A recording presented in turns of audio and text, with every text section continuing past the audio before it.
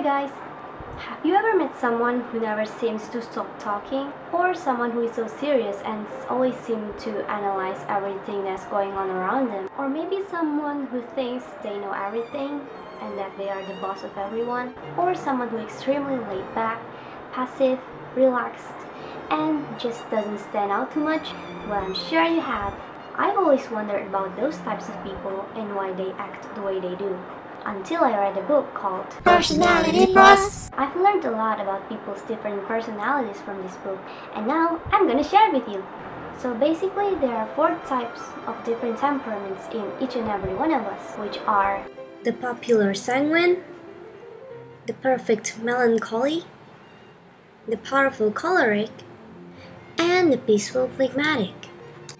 I'm gonna talk about the popular sanguine first the easiest way to identify the popular sanguine is to see if that person talks a lot, because popular sanguines are loud and talkative. They are often the life of a party because they entertain everyone with their stories. They make friends easily because they are kind and outgoing.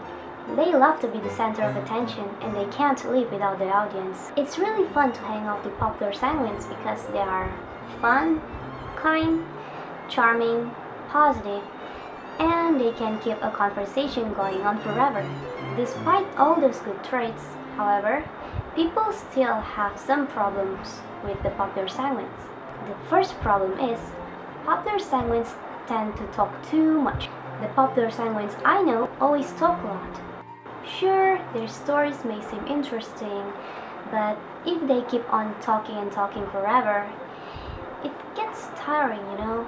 The solution is talk half much as before. If your audience are looking at their watch, or if they keep looking at the door like they are trying to escape from the room, chances are they do want to get away from you. That should be enough signs for you to stop talking. Condense your comments, keep your stories short and straight to the point.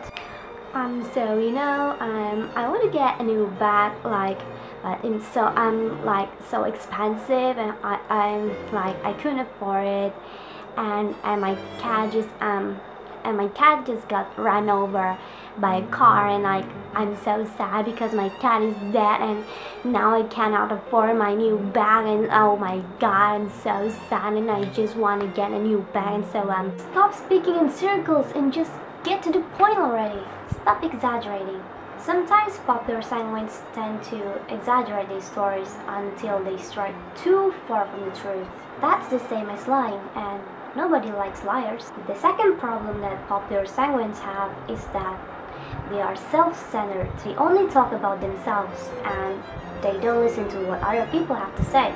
They only think of other people as audience and they aren't interested in getting to know them more. The solutions to this problem are be sensitive to other people's feelings and interests and learn to listen. Stop talking and start listening. We have two ears in just one mouth. Use those ears well. The third problem is popular sanguines are fickle and forgetful friends. My popular sanguines friends all have problems at memorizing things, even people's names. It's kind of sad how someone you've known for quite a while still forgets your name and misspells your name sometimes. Hey Laffy, can I borrow your pen? Hmm, it's Rafi actually. Oops, my bad. Can I still borrow your pen though? Pay attention to names. It's crucial to remember your friends' names. You wouldn't want to be addressed with another name yourself, would you? The fourth problem is popular sanguines interrupt and answer for others. For me, this is the most annoying part of all. I get really, really pissed off every time a popular sanguine interrupts me when I'm talking and then bends the topic so it revolves around him or herself again. Yeah, so when I got to class, the teacher was, oh my god, the same thing happened to me too! But I haven't even told you what happened yet. You never believe what happened to me yesterday. So the teacher saw me daydreaming in class and he was like, See the problem there? No one likes to be interrupted. So popular sanguines, stop interrupting other people. No one would want to listen to you if you don't listen to them. The final problem is, Popular sanguines are disorganized and immature. Because popular sanguine loves to have fun, they are often reluctant to grow up and be mature. They get bored easily and they quit whenever they want to.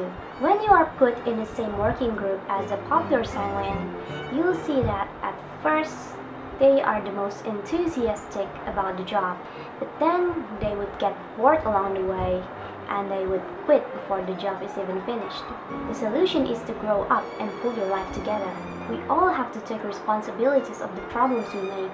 Don't run away from the trouble, but face them instead. All the temperaments have flaws, but I believe that by recognizing them, we could cut down the flaws so we could learn to become better individuals. So that's all I have to say about popular sanguines. I'm going to talk about the perfect melancholies in the next video. If you want to know what your dominant temperaments are, click here to take the test.